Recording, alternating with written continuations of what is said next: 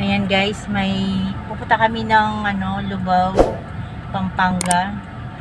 Gusto na namin yung pamangkin ko kasi ano, papunta siya dito sa Olongapo. Nakabike lang siya pero nasiraan yung bike niya. Kaya rescue namin siya. Samahan niyo kami guys. Mag road trip tayo.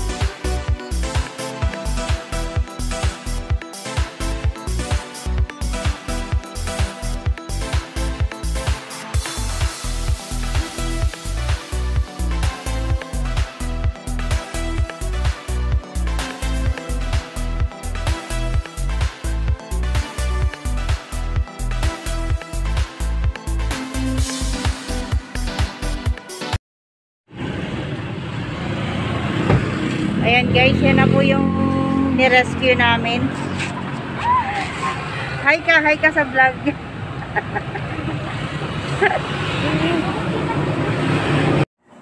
Ayan guys, nakauwi na kami. Ayan po si Deno, yung pamangkin ko. Galing siya ng Pampanga. Ang dami niyang dala, kaya siguro nabigatan yung bike. Kaya nasira siguro. Ayan, dito daw muna siya ng ilang araw. Tapos magbabike ulit siya pa uwi sa kanila.